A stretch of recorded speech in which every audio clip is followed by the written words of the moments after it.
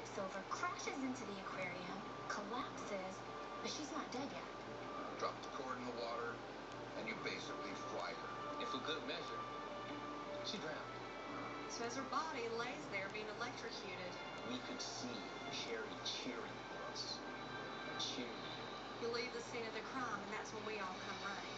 Everything's really starting to point to you being the killer, Adriana. Chris, I got my eyes on you. The killer is Dontae. I still know that you did it, Adriana.